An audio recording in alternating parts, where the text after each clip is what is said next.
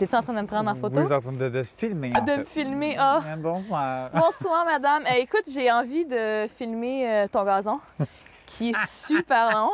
J'aimerais ça qu'on porte une minute d'attention. Est-ce que ça te dit de couper ton gazon un jour? Je m'en vais dans Broussailles. Dans Broussailles. Dans Broussailles du gazon pour mettre Dans une lumière. Oh non! Le gazon est tellement long, c'est comme si ça fait. Dans un petit nuage de lumière, c'est Je incroyable. suis plus capable. Arrête! J'adore. Autant! L'autre côté. Celle-là aussi est tombée. Oh mon Dieu, ça va pas. Hey, Attends, on je vais est des filmer ça. je professionnels, Je là. trouve que c'est un gars. Ben oui. Pas pire, là. On a arrangé ça, nous autres. euh, À bonne franquette. Absolument.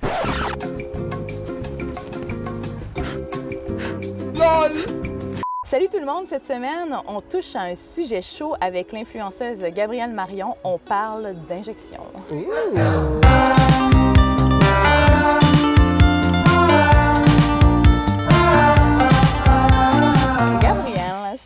Chérie, ça va? Bien, bonjour, ça va toi? Oui, merci. Écoute, habituellement, l'émission, euh, c'est les gens qui choisissent euh, leur sujet. Ouais. Et là, je t'ai un peu imposé mon Oui. sujet et tu as été super game d'embarquer. Absolument. C'est un sujet que je trouve qui est très pertinent, euh, mais tu es willing aussi dans la vie. Oui. Ça fait partie de toi, donc... Tout à fait. Je suis vraiment quand même sans filtre. Fait que peu importe aurait été le sujet, j'aurais été à l'intérieur de ce sujet à 100% mais j'avais aucune inspiration. Et tu m'as emmené cette idée qui, ma foi, j'aurais dû y penser, mais tu l'as apporté et j'étais comme, ben oui, Mais do oui, on a une professionnelle, Ben oui. experte de voilà. l'injection avec nous. Mais en fait, je, je dis ça un peu à la blague là, parce qu'on n'est pas des médecins, on le mentionne.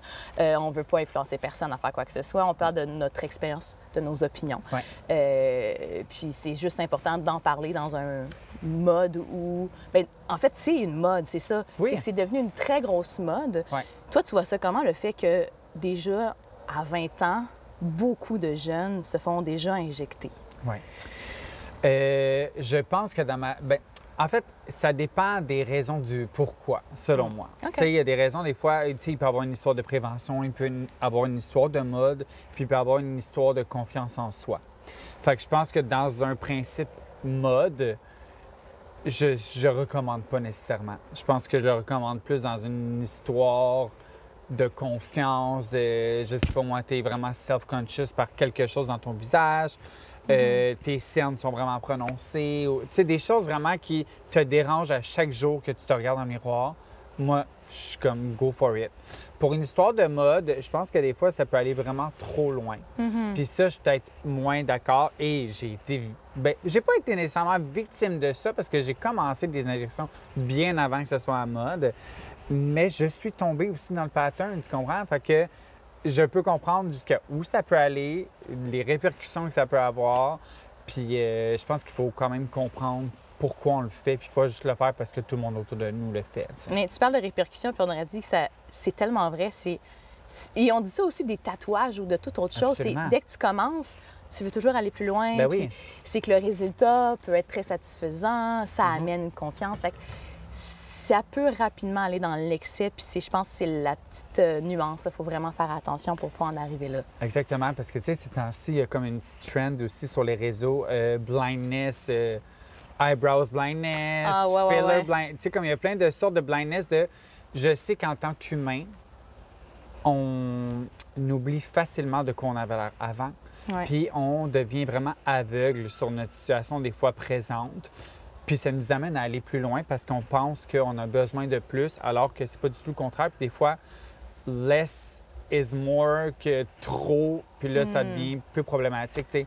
On voit beaucoup ces temps-ci des personnes qui sont dans la vingtaine ou comme début vingtaine qui font beaucoup d'injections, mais ça vieillit plus que ce que c'est censé faire, qui Exact. est censé en fait nous rajeunir des injections. Fait qu'il faut vraiment faire attention à ça. Oui, puis le but, c'est de s'améliorer. là. Puis on sait très bien que euh, des injections, à un moment donné, on s'habitue, puis il faut en mettre plus. Puis ça finit que ça devient... euh, ça peut créer l'effet inverse, ça peut, avec le temps, te décevoir. Exact. Puis c'est pas là qu'on veut aller. Puis personnellement, moi, j'ai eu recours à certaines euh, Qu'est-ce que tu injections. fait faire? Ah, mais là, c'est pas- savoir? Ben oui, mais j'en ai pas fait beaucoup. Euh, j'ai vraiment, pour moi, c'était important d'attendre après mes 30 ans. Donc, la, la première chose que j'ai fait, c'était à 30 ans, puis c'était un complexe de, depuis des années très, très jeunes, j'avais des cernes très prononcées. C'était vraiment juste dans un but d'essayer ça. Euh, ce que j'ai fait, euh, puis il faut faire attention parce que les cernes, ça peut tomber dans les joues, il faut vraiment que tu aies une bonne injectrice avec euh, une bonne prescription pour être sûr. Puis c'est aussi que moi, ce qui me dérangeait, c'était les- le côté bleuté mauve et Ça, la cerne n'est pas traitable avec Mhm. l'injection. Fait que, il y a toujours. ben, il y a, d'autres euh, solutions qui existent maintenant. Par exemple, si jamais c'est la cerne qui vous dérange, il y a le PRP qui existe. Euh, Exactement. On peut injecter on les peut- plaquettes. dans Des le plaquettes. euh, Puis c'est très naturel parce que c'est ton propre sang Exact. qui. C'est tes euh, propres plaquettes qui font juste restimuler un peu le Oui, collagène. puis ils vont réinjecter ton, tes, euh, ça, tes plaquettes dans ton. Dans, Dans tes, tes cernes, tissus, ouais, dans exact. tes tissus. Fait que c'est naturel. Exact. Il y a plein de, de choses qui existent comme ça. Fait que ça, j'ai fait ça. Moi, j'avais essayé aussi un peu le d'essayer le Botox. J'étais Ouais. comme pas sûre. Euh, je trouve que, tu sais, là, j'en ai 33, puis je trouve que ah, ça paraît pas, là, mes rides. Fait que je me suis dit, je veux pas aller trop loin là-dedans. Mhm. Fait que c'était pour moi, c'était important de pas aller trop loin. Je l'ai essayé une fois, puis ça n'a pas duré assez longtemps. Ça a duré même pas un mois. Habituellement, ça dure entre 4 à 6 mois, Ouais. euh, une injection? Bien, normalement, on recommande de le faire aux quatre mois parce Ouais. qu'à partir de six mois, l'effet de la molécule en tant que telle, qui est le médicament, Ouais. euh, fait, fonctionne plus. L'affaire qui peut faire que ça fonctionne jusqu'à six mois, c'est le fait qu'on euh, on atrophie en fait le, le muscle. Fait qu'il devient moins fort, fait que ça peut garder les effets plus longtemps, mais on recommande quand même toujours de le faire avant le six mois, là, évidemment. Ouais. Mais oui, ça. Toi, ça t'a juste fait Ça un me- mois. ben, sais, il y a plein de facteurs. Ça peut être euh, ton système immunitaire qui réagit différemment. euh, Ça peut être ton métabolisme. Oui, C'est ça, la toxine qui est trop diluée parce Oui, qu'ils vont absolument. Il y diluer a aussi des places qui diluent beaucoup plus le produit. Peut-être Le j'en ai pas fait assez, c'est ça. Bon. ouais. Puis après ça, je me suis dit, bon, pour le résultat, peut-être que j'attendrai encore. Ça me dérange pas, euh, cette partie-là, d'attendre. Puis en même temps, je veux pas trop figer trop tout ce qui est acting pour Ouais, moi. Fait que exactement, je pense que j'ai décidé de laisser ça de côté. Euh, mais ce que moi, j'ai le plus aimé, c'est euh, les injections euh, d'acide hyaluronique dans la mâchoire.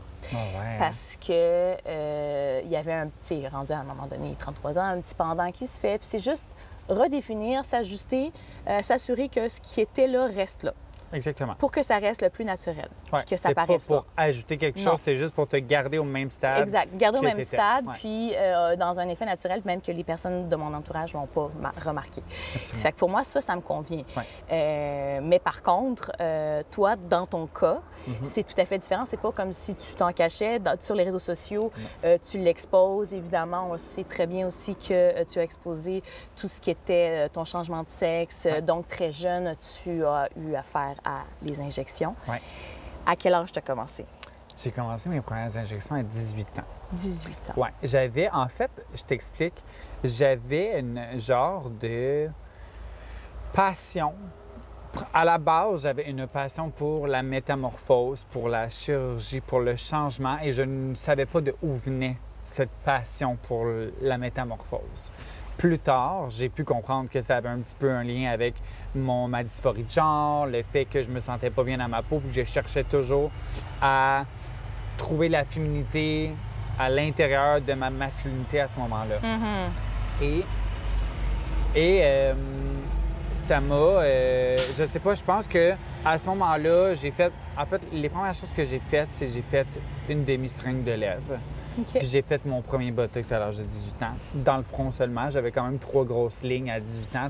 Des fois, il y a des gens qui ont Oui, aucune ligne ça. à 18 ans, puis il y en a qui ont des lignes très profondes à 18 ans, tout dépendamment de à quel point tu es expressif, génétiquement parlant, ta peau. euh, Tout ça, ouais. fait que, ça se peut qu'à 18 ans, tu aies des rides puis que ça t'énerve, tu sais. Euh, mais moi, j'ai commencé à 18 ans parce que je voulais un peu plus de lèvres. Ma lèvre du haut, elle était inexistante et euh, j'étais comme, bon, tu sais, c'est une bonne chose à... Je pense que comme première chose à faire, ça a du sens, faire un petit peu de lèvres, un petit peu de Botox. Mais par la suite, je n'ai pas arrêté là. Évidemment. Mais avant de se lancer dans tout ce que tu as fait, Oui. parce que euh, on, on va y arriver, c'est aussi qu'il faut faire la différence entre le Botox et les agents de complément. Exactement. C'est pas tout le monde qui sait. Fait que Non. toi, comment t'expliquerais cette différence entre ces deux Oui. produits? Euh, dans le fond, tout le monde dit que le Botox, c'est ce qu'on a dans les lèvres qui fait des grosses lèvres. Ce n'est pas du tout le cas. Mhm. Ce qu'on a dans les lèvres qui grossit des lèvres, c'est un agent de comblement qui est un acide hyaluronique, qui est en fait une molécule qu'on a déjà dans le corps humain. Ouais. Mais euh, elle est comme faite en laboratoire pour justement, c'est comme un gel un peu justement pour grossir des parties de notre corps pour Ouais, euh, Un effet volumisant. un effet volumisant exactement. Ouais. Puis l'acide hyaluronique, c'est une molécule qui attire mille fois son poids en eau. Alors, c'est un produit vraiment qui, c'est pour ça que c'est volumisant. Sais, 1 ml, une seringue, c'est tout le temps 1 ml.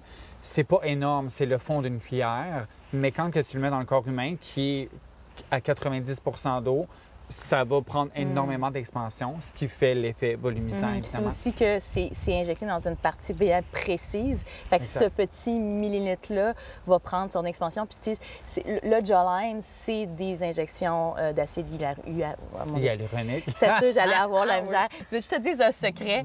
J'ai tellement de la misère à dire hyaluronique que je l'écris. Arrête, tu l'as écrit sur ta main! Je l'ai même pas vu quand t'es le arrivé. IA. Le IA, j'ai Ouais, mélangé. Ah, le mon Dieu. ouais. Fait que euh, dites-le trois fois. Hyalu- hyalu- Hyaluronique, hyaluronique, hyaluronique. Bravo! Je l'ai vraiment souvent. Ah oui? Elle, elle- elle se tient, elle se tient la mâchoire euh, Oui, oui. articulée Absolument. en disant ce mot. Donc oui, C'est ça. Les effets Donc, volumisants. Les Pour- effets ouais. volumisants pour l'agent de complément. Évidemment, il y a plusieurs euh, sortes, il y a plusieurs compagnies, il y a plusieurs euh, molécules aussi. Il y a des molécules plus épaisses pour, mettons, ton jawline, c'est une molécule plus épaisse. Des joues, c'est une molécule plus épaisse. Des lèvres, c'est souvent une molécule beaucoup plus fine, justement parce qu'on ne veut pas que ce soit trop dur, donc ça Mm. va avec la souplesse. Euh, Puis ce qui est vraiment le Botox, en fait, premièrement, Botox est un nom de brand. Ce C'est une n'est pas ouais. le nom de la molécule en tant que telle, c'est une marque, tout Ouais. simplement. Mais ça a tellement été la marque la plus médiatisée puis la plus manufacturée au départ que euh, on appelle tout Botox, mais il y a Botox Dispar, Ouais. Il y a plein, plein, plein de compagnies. on appelle ça en fait une acide botulique. Oui, c'est un le- neuromodulateur. Ouais, un- exactement. euh, un acide botulique, un neuromodulateur qui va, en fait, geler un peu les signaux entre le muscle et le cerveau. Donc, quand que tu essaies de faire le mouvement, admettons, là, j'essaie d'être surprise, mais il y a une coupure qui se fait dans le message. Et ça fait en sorte que je suis pas capable de faire mon surpris, même si j'essaie. Puis moi, je pense en ce moment que je suis en train d'être full surprise. Fais-le, fais-le, je vais faire un gros zoom sur ta face.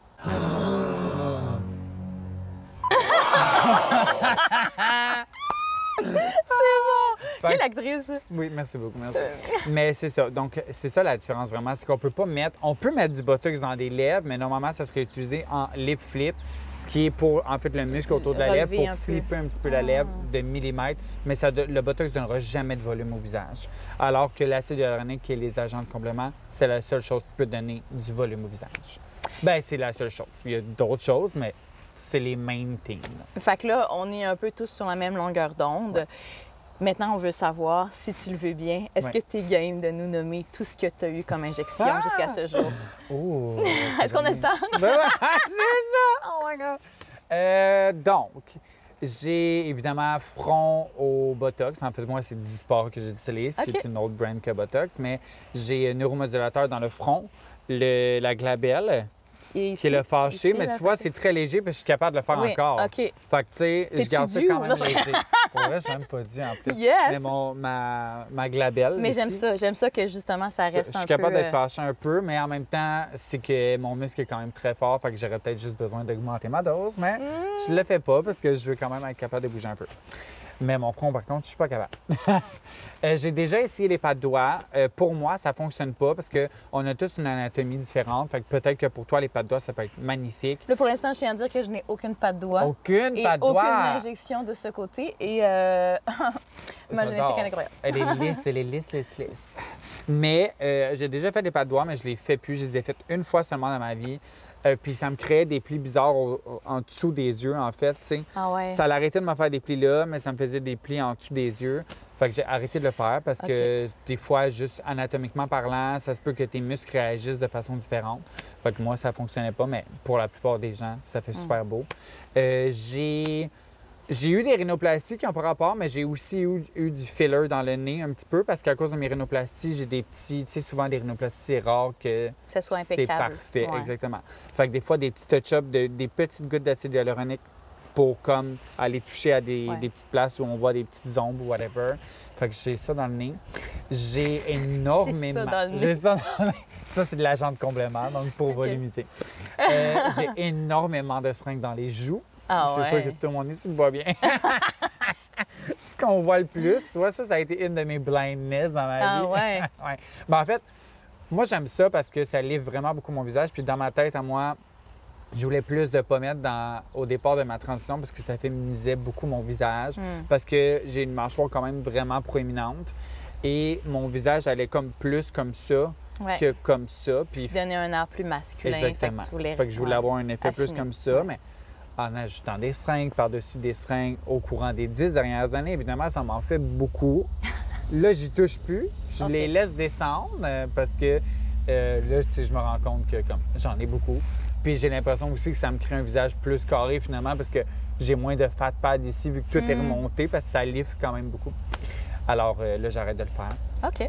Mais euh, c'est quand même une partie de moi que j'aime beaucoup, mes petits bijoux qu'on se. Et euh, sinon, qu'est-ce que j'ai eu d'autre? Mes lèvres, évidemment, j'ai eu plusieurs. En, en 12 ans, j'ai eu vraiment beaucoup de seringues.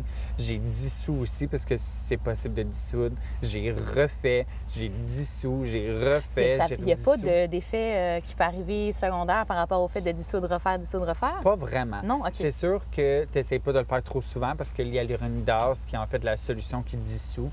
Euh, ça peut quand même venir toucher à ton collagène. Ça peut quand même venir toucher à... Ton, c'est ton voisin sexy. Euh, Il y en a un de beau dans ce bloc-là à côté. OK. Euh, Tu me le présentes après? Non, c'est vrai. Je le connais même pas. Je sais pas c'est quoi son nom. Euh, ça peut quand même toucher... ça peut quand même toucher à ton collagène genre personnel. Ouais. Personnel, ça se dit Ton collagène... Ton, Ton- co- ton- regarde, on a tous nos difficultés de langage ce matin. Ton l'aide. Ah, ton collagène naturel, fait que tu essaies pas trop de le faire souvent. Mais je l'ai fait quand même souvent parce que justement, j'ai eu des lip filler blindness à un certain point dans ma vie où j'allais voir plein de gens différents, mettais plein de produits différents, touch-up par-ci, touch-up par-là, croche là, t'en rajoutes là, mais là, tu rajoutes là, là, là. À un moment donné, ça finit plus. Ouais. Euh, fait que j'ai été croche souvent. Mes lèvres ont été croches souvent. Euh, sinon, j'ai fait menton un petit peu. J'en ai Ouais. un petit peu dans le menton. Et j'ai aussi beaucoup de botox dans les masséteurs parce que les botox dans les masséteurs, ça l'aide au grincement des dents, mais aussi Ah oui. à réduire la mâchoire. OK. Parce que souvent, les masséteurs prennent beaucoup d'espace au niveau du bas du visage. Puis je voulais réduire le bas de mon visage et aussi aider au grincement des dents. Sinon, corps, j'ai dit quelque chose? Non, corps, j'ai rien. Voilà, c'est tout. Je pense injection, c'est assez. J'ai oublié quelque chose? Non. Non, mais écoute, dans tout ça, il y en a quand même beaucoup. Il y en a sûrement une que tu préfères plus que les autres. Laquelle qui, pour toi, tu referais C'est mon n'importe indispensable, genre. Ouais. Euh, le Botox. Admettons, si j'aurais le choix entre les agents de comblement Ouais. ou de faire mon Botox, je vais faire mon Botox. OK. Parce que euh, c'est vraiment... c'est- En fait, c'est spécial à quel point ça fonctionne bien, le Botox, du fait que même si tu as des lignes vraiment très creusées, Ouais. ça va venir geler ton muscle, mais aussi le fait que tu fais plus l'expression, ta peau Oui, reste steady, Exact. puis ta peau ça se régénère. que... Ah oui, ça Fait que se là, tes lignes s'en vont. C'est ça. Fait que même si des fois, mettons, tu je sais pas, 42 ans, tu fais ton premier botox, tu as des lignes de full creusées, tu fais ton botox, à force de le faire, ta peau va se régénérer, va se lisser, puis ta texture va complètement être différente. Ah ouais. Genre vraiment. Fait Je pensais qu'à partir d'un certain âge, bah oui, on le faisait pour, euh, mettons, arrêter puis, euh, le- processus, mais Oui. que euh, les lignes ne disparaissaient pas. Mais je savais pas que ça allait jusque-là. Ouais, c'est sûr que si tu commences à 60 ans, ils vont pas disparaître, mais ils vont s'atténuer parce Ouais. que, évidemment, le régéné- la régénération cellulaire quand on vieillit ralentit. Oui, oui. Mais quand tu commences, à, mettons, à, à 30 ans ou 35, genre même fin trentaine, le, le, voyons, le- la régénération La régénération. cellulaire est encore très rapide. Ouais. Fait que tes lignes vont disparaître. Mais moi, j'ai lu qu'à partir de 25 ans, tu perds 1% de ton collagène à chaque année. Puis Absolument. après euh, 50 ans, ben là, ça va plus vite. Oui, puis la ménopause Oui, aussi c'est euh, ça. chez Donc, euh, là. c'est sûr que euh, ben, c'est un peu pour ça que j'ai attendu un peu quand même. Ouais. Qu'à 30 ans, je trouvais que c'était un bon, un bon chiffre. Oui. Puis d'y aller à tâtons, de voir, de faire des essais. Parce que, comme on dit, ça, ça change selon la personne. Exact. Toi, le- laquelle de tes injections tu as le plus regretté? Les lèvres, je pense. Ah oui? Ouais, Mais à ce jour, est-ce que tu le referais encore, même si tu as autant regretté? Je le referais pas au même niveau que je l'ai fait. Tu sais, je Ok. referais pour plumper un peu. Récemment, j'ai euh, justement fait une dernière ronde un peu de dissolution pour dissoudre un petit peu mes lèvres. Parce que encore là, même si tu dissous, tu refais pour que ce soit plus beau, on finit toujours par un peu se perdre Hmm. et en rajouter un petit peu, en rajouter un petit peu, puis à un moment donné, ça devient hors de contrôle. Euh, fait que je pense que j'aurais pas autant abusé sur les lip fillers quand j'étais plus jeune. Quand j'ai commencé à 18 ans, c'est vraiment là, jusqu'à mes 20 ans, 21 ans, euh, que j'ai comme vraiment abusé. Puis là, je, je regarde des photos aujourd'hui, puis je suis comme, Mais c'était pas autant euh, médiatisé Non, avant non plus. exactement. Il y, a, il y a ça aussi, l'avantage de tous les réseaux sociaux, les chaînes YouTube, les, les influenceurs, c'est que maintenant, on en parle avec un peu plus d'ouverture, sans fil. Fait qu'on en sait un peu plus. On, on est moins, euh, ben c'est ça, aveuglé Exact. de, de, de, de ce qu'on de ce qu'on fait. On s'en va en ayant des meilleures connaissances, en sachant que telle, telle clinique offre des choses plus sécuritaires. Puis il y a aussi, euh, il y a aussi le fait que avant, de commencer, je savais même pas, là. Puis c'est en faisant mes recherches que c'était obligatoire au Québec d'avoir une prescription d'un médecin. Ouais, ça l'était pas avant. Ce l'était pas avant. J'ai vérifié d'ailleurs, en Ouais. 2002, il y avait la loi 90 qui disait qu'une infirmière pouvait avoir une prescription collective pour Ouais. ses patients. Puis depuis 2017, on est obligé d'avoir... Est-ce que Moi, j'ai commencé? commencé en 2012. OK. Donc, de 2012 à 2017, c'est ça qui faisait que je voyais des gens différents tout le temps, Ah que ouais. j'avais des là, produits un injectés tout le temps différents euh, parce que comment. il y avait, tu sais, dans le temps, tu pouvais prendre une injectrice qui allait dans une, euh, dans une clinique genre euh, esthétique au sous-sol, était là, mettons, chaque lundi. On aurait dit que ça Puis- sonne oui, ça sonne black market, au là. sous-sol, Oui. à la non, pour de vrai, elle s'installe au sous-sol, puis genre 300 une seringue complète. Fait que moi, j'étais comme, mets-moi le produit le plus épais pour que ça dure le plus longtemps. Il y avait moins de règles. Depuis 2017, Ouais. comme tu dis, il y a beaucoup plus de règles. Euh, les infirmières doivent avoir tout le temps des ordonnances. En fait, pour traiter un Ouais. client, il faut que le client ait l'ordonnance du médecin qui est affilié Ouais. à l'infirmière. Si l'infirmière n'est pas bachelière, le médecin doit toujours être là. Euh, puis si c'est un médecin, ben, le médecin, it's enough, it's ouais. enough. Mais euh, maintenant, c'est beaucoup plus strict. Puis Ouais. c'est correct parce que justement, ça l'amène à ce qu'il y ait moins d'abus. Parce qu'il y a un petit côté professionnel aussi, je pense que l'infirmière ou le médecin doit avoir pour pouvoir dire à un moment donné non. Ouais. Il faut être capable de dire non. Oui. Puis c'est important de poser les questions aussi. Ben oui. Parce que, tu sais, tantôt, on parlait de, bon, le temps que ça dure, euh, comment c'est dissous, c'est quoi le produit. Il faut le demander à l'infirmière et le médecin qui est là parce que les autres, c'est leur job c'est leur responsabilité de nous dire c'est quoi le produit. Puis, tu sais, tu parlais euh, le Dysport. c'est? Dysport, Dysport. Tu parlais du Dysport. Je connais pas tout à fait tous les types de Botox, mais c'est possible de s'informer sur, les, sur Internet, Absolument. de lire Maintenant, la il composée chimique de tout. Tellement d'informations, là, absolument. Je pense que c'est la base. Il faut vraiment... euh, c'est ta face. Reste que c'est ta Oui, il face. faut tu sais, euh, s'informer. Il ne faut pas aller aveuglement dans des procédures parce que euh, il y a des fois des professionnels qui sont beaucoup moins euh, abrupts sur l'information et tout ce qu'ils veulent, des fois, c'est de faire l'argent le plus vite possible. Euh, puis c'est jamais très bon parce que, tu sais, il faut quand même parler un petit peu. C'est sûr que le médecin parle toujours un petit peu euh, lorsqu'il fait la prescription de toutes les complications qui peuvent arriver. Il va donner toutes les informations, tout ce qui peut arriver, même si c'est très, très, très rare. Ouais. Puis ça, c'est important d'avoir quelqu'un qui t'informe de ça Ouais. parce que des fois, si tu n'es pas prêt à prendre le risque, tu sais, je parle de ça comme si c'était risqué, mais ça pourrait être risqué pour n'importe qui. être risqué, ouais. Puis même les physiciens qui sont les plus. Ah, un bébé. Même les...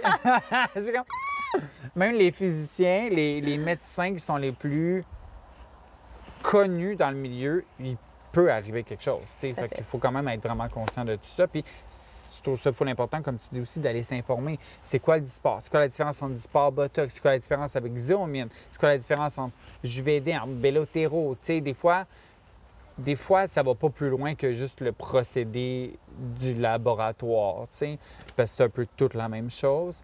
Mais quand même, c'est important un peu de savoir euh, qu'est-ce que tu te fais mettre dans le corps. Oui, tout à fait. Mais ça reste aussi que euh, tout ça, ça coûte très cher. Aussi, la prescription aussi, ça coûte cher. Elle coûte combien ta prescription, toi? Ouais, 100 OK, c'est ça. J'étais quand même pas trop sûre de... pour deux ans. Pour deux ans. Ah, Ouais, ben c'est valide bon. deux ans. C'est quand même bon. C'est vraiment bon, ouais, en effet. Euh, fait que c'est un montant que tu ajoutes supplémentaire aux injections. Oui. Je sais que c'est difficile de dire un chiffre, mais mettons environ combien Oh depuis tes my- 18 ans tu aurais investi en injection? Hi! Oh, Ouais, c'est hein? une très bonne question parce qu'admettons que je compte. Juste mes pommettes, là, je dois avoir 15 seringues de chaque côté. 15 seringues fois sur 550 quand même la plusieurs années. Là, Oui, sur va- plusieurs années. Tu fais pas ça shot. Non, non, c'est buildé. Là. Fait que, mettons, on a 30 seringues dans mes joues à 550 euh, 13 divisé par 2, 6,5. Fait que 6500 juste pour les joues. C'est ça? Ça se peut-tu? Moi, je te laisse calculer. Je vais faire le calcul à la maison, puis je vais le mettre en bas. Non, c'est pas vrai. laisse. 15 000. 6 500, voyons, je suis qui? Euh, 16 500. 16 500 juste pour les joues. Euh, Botox, évidemment, c'est, je l'ai fait aux trois mois. Ça me coûte à peu près 300... Ça peut ouais, ça. Euh, 100 150, 5, 6, 7, non, 270. 270 par trois mois depuis 10 ans. Ben, tu sais, admettons, euh, je pourrais compter. Euh... Admettons, je vais mettre 30, 15, 20, 25 000, 30 000 peut-être d'injections depuis en 10 ans. C'est. euh, Ah, mais attends, j'ai pas compté les lèvres et tout. Ouais. minimum, On n'est pas, on pas sorti du non, bois. minimum 30 000, admettons. Wow. Mais sur 10 ans. Oui, quand même, Fait que 10 c'est ans. 3 000 par année, admettons. Mais c'est ça qu'il faut savoir, c'est qu'on s'embarque là-dedans, il faut toujours le refaire euh, Ouais. si on veut conserver l'effet. Euh, c'est pas c'est pas donné. Puis ça dépend de la quantité que tu mets, ça dépend du produit que tu mets. Oui. Fait que c'est difficile euh, de te faire donner un prix.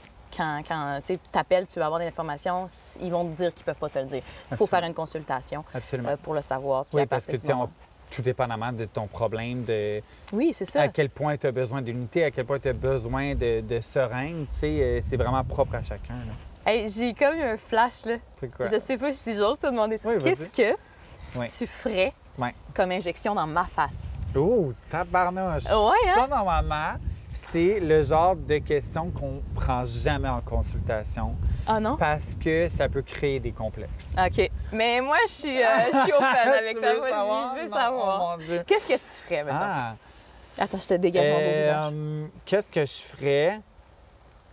Des, admettons, Tu dis que je fasse des expressions? Ben, admettons, une chose que je peux avoir remarqué, mais c'est pas. Tu sais, moi, pour moi, c'est pas un défaut, mais si ça t'énerve, si ça t'énerve pas, ça t'énerve pas. Mais il y a beaucoup de monde, des fois, qui viennent parce qu'ils savent pas s'il y a quelque chose qui existe pour quand on voit la gencive, quand on sourit. on Oh voit un petit peu ta gencive. Ah, mais ça, c'est vrai. Le gummy fait. smile. J'ai- en faisant mes recherches, j'ai vu que tu pouvais faire des injections Ouais. juste ici.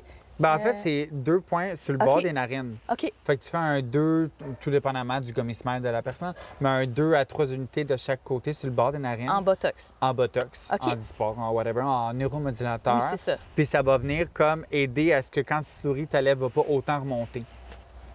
Ouais. Mais ça, ça hier, je regardais, puis je suis tombée sur justement une fille qui expliquait ça, puis j'ai fait Hum, intéressant. Et là, tu m'en parles. Est-ce qu'on vient de créer un nouveau besoin? Ah non! En même temps, ça fait mon charme. oui. non, mais pour de vrai, tu sais, en même temps, je suis qui pour pointer quoi que ce soit? Euh, Mais j'adore, but, c'est pas j'adore. qu'on parle ouvertement de ça. Est-ce qu'il y a autre chose que tu ferais? Hey, pas vraiment. Mets-toi de côté, voir. Un côté comme ça? De profil. Là, je vais enlever mon cheveu. OK, ton menton est beau. Il a été un petit peu touché euh, quand on a fait Oui, le c'est ça, fait Euh, Regarde-moi. Fais un bec. Un bec. OK. Ben pour de vrai, pas, grand, pas vraiment grand-chose, là. Le secret, c'est le skincare. Absolument. We love it. Non, mais pour de vrai, tu sais, moi, je pense que tu as besoin de rien, absolument. Tu sais, il y en a des fois qui vont peut-être avoir un menton plus reculé, puis ça crée d'autres problèmes que des fois, les gens, en fait, ils viennent puis ils pensent que c'est une certaine zone. Mais des fois, en, venant- en venant balancer puis faire une autre zone, on voit plus ce qu'ils voyaient. Mettons, Oui, c'est des fois, on pense que c'est ah, je manque de joues, mais dans le fond, ils ont le menton reculé. En rajoutant du menton, ça vient restructurer tout, ça vient balancer, puis ils sont comme Ah, ben finalement, je les vois plus mes joues. Tu sais, tu comprends? Oui, je comprends. Fait que, tu sais, des fois, c'est genre juste d'aller pointer des mini-affaires, ça peut être des mini. Tu sais, des fois, ici, là, souvent, les gens, là, toi, t'as vraiment pas ça non plus, là, mais la plupart des gens, il y a beaucoup de gens qui ont le ligament ici, c'est la séparation entre la peau de l'œil puis la joue. Ils ont comme un genre de petit creux ici, Ah puis ouais. ils pensent que c'est des cernes, genre. Ici, genre? Genre, plus d'habitude, c'est comme là, là. OK, vraiment plus bas. Ouais, vraiment plus là- très, très là, bas, là. sur Puis la souvent, c'est comme si ça fait la vallée des larmes, comme si ça descend un peu. Puis ils pensent que c'est la cerne, mais en fait, c'est comme un manque de support au niveau du ligament. Fait que souvent, les gens sont comme Ah, mes cernes. Mais finalement, c'est pas des cernes. C'est juste le ligament, il manque de support, puis il y a une ombre ici qui donne l'impression qu'ils sont fatigués.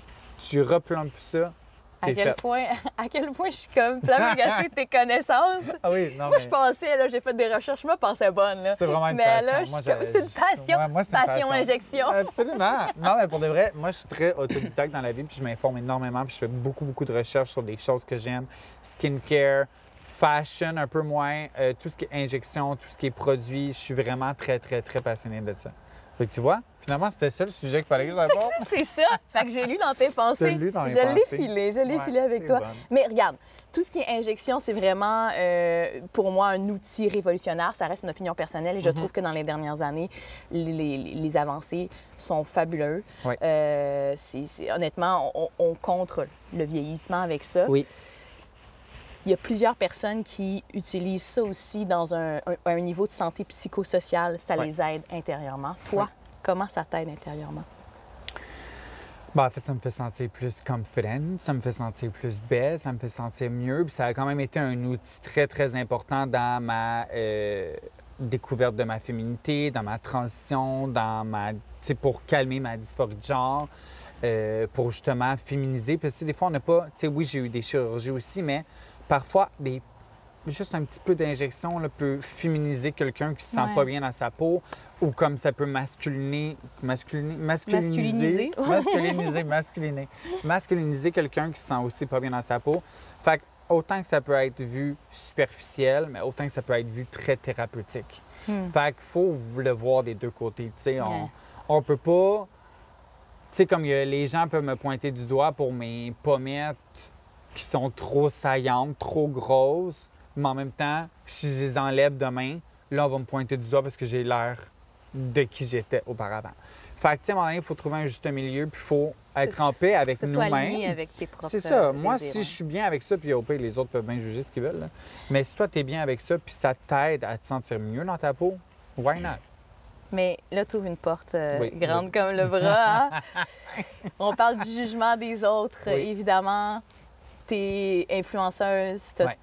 tu, tu- tu- tu es sans filtre sur les réseaux sociaux, tu Oui. as tout montré de, de ce changement de tes injections. Et il y a des haters. Absolument. Comment tu deals avec ça? Parce que toi, ça te fait du bien, là, tout ça. Tout Oui. ça, c'est en harmonie avec toi pour te sentir en confiante et belle. Oui. Mais malgré tout, il y a toujours quelqu'un qui vient t'insulter. Exact. Euh, c'est sûr que ça fait quand même des années que je fais ça. Fait qu'évidemment, j'ai une bonne carapace face aux commentaires euh, négatifs, évidemment. Euh, par, contre, il y a quand même certaines choses qui peuvent venir un peu m'affecter. qui a quand même un impact un peu sur comment sur mes actions. C'est un petit peu les dernières fois que ben en fait la dernière fois que j'ai dissous mes lèvres, c'est un petit peu quand même en rapport à ça. OK. Ah, Parce ouais. que, oui, c'est en rapport à moi aussi, parce que je suis comme dans une ère où je vieillis, puis j'ai envie d'être un petit peu plus naturel, ouais. puis que mes lèvres donnent un effet beaucoup moins naturel, évidemment. Donc, à mon les visage. haters ont quand même. Mais les haters me pointaient beaucoup ça. Fait que ça a influencé ton choix. Exact. Puis même pas juste les haters, je te dirais l'industrie en tant que telle, Ah, parce ouais. que c'est pas nécessairement très bien vu dans l'industrie dans laquelle on est d'être over C'est vrai. Mais en même temps, il y a quelque chose de. J'ai l'impression que pour toi, s'il y a bien une personne qui a le droit d'avoir un, un- un- un passe-droit, c'est toi. J'ai Ouais. l'impression que c'est. C'est justement, c'est ça s'est Ça fait bâti, partie ça de fait partie de toi, personnalité. de ta Ouais. personnalité. Tout a été bâti justement dans cette euh, Optique-là. optique-là, dans cet affranchissement de genre, je vous dis tout ce que j'ai vécu. Absolument. J'ai l'impression que s'il y a bien une personne qui peut se permettre plus, Ouais. Je dis pas là, que tu peux en aller plus parce que t'es magnifique, là. mais mais j'ai, ouais, je comprends ce que tu veux dire, mais il y a quand même, j'ai l'impression que tu peux te permettre plus que certaines personnes. T'es fine, t'es fine. Ouais. Mais je pense que je le sens aussi, ce que tu me dis, que je peux me le permettre plus, que on m'accepte, tu sais, qu'il faut m'accepter comme ça, je suis comme ça, puis je m'aime comme ça, puis, tu sais, je- mais j'ai encore des lèvres, j'ai encore du filler dans mes lèvres, je vais jamais complètement enlever tout ça parce que ça fait partie de moi, puis ça fait partie de ma féminité, puis je me sens belle comme ça. Euh, mais tu sais aussi, je, je- je suis plus aware de la limite à ne pas franchir, admettons. Fait que, tu sais, de bien doser. faut juste bien doser. Ce sera le, mot de la fin, bien le Je trouve que c'est euh, c'est vraiment un beau mot qui rassemble tout ce qu'on a parlé parce qu'on a parlé des avantages, on a parlé des inconvénients, on a parlé de ton expérience. Oui. Et l'important, c'est de se connaître soi-même, de s'écouter et de bien doser. Exactement, t'es bonne! Hey, Yes, yes!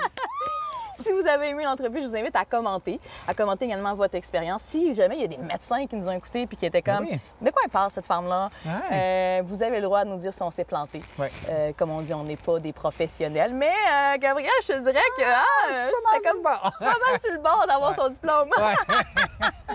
Merci pour ton temps. Merci à toi. Merci à vous d'avoir été là. Je vous invite à partager, à liker et à vous abonner. bye. bye.